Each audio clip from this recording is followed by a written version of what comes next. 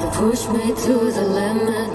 Guess you bow down before a God. Just like my former enemies, I'm a con and hunt you down.